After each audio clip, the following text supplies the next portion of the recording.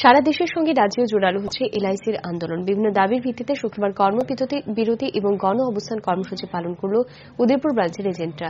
জানা গেছে, বিভিন্ন দাবি আদায়ে তিন মাসব্যাপী কর্মসূচি গ্রহণ করা হয়েছে এজেন্টদের তরফে।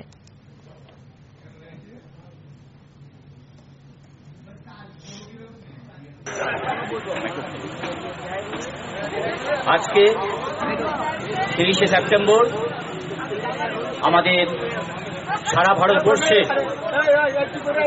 লেয়াফি জয়েন্ট অ্যাকশন কমিটির ডাকে। দুই হাজার আটচল্লিশটা ব্রাঞ্চের সহিত। আজকে আগরতলা ব্রাঞ্চ ওয়ানেও সকল এজেন্ট বন্ধুরা আমরা আজকে কর্মবিরতি পালন করছি। আমরা ফার্স্ট সেপ্টেম্বর থেকে থার্টিন সেপ্টেম্বর থার্টিন নভেম্বর পর্যন্ত আমাদের তিন মাসের আন্দোলন কর্মসূচি সারা ভারতবর্ষ জয়েন্ট অ্যাকশন কমিটি গ্রহণ করেছে। তারে অন্যতম অঙ্গ হিসাবে আজকের দিনটা আমরা বেছে নিয়েছি।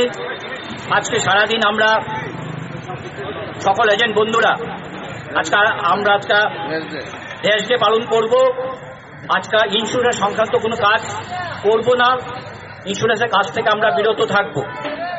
কারণ আমাদের ষোলো দফা দাবির ভিত্তিতে আমাদের এই গণ অবস্থান, আমাদের ষোলো দফা দাবির প্রধান এবং অন্যতম দাবি হচ্ছে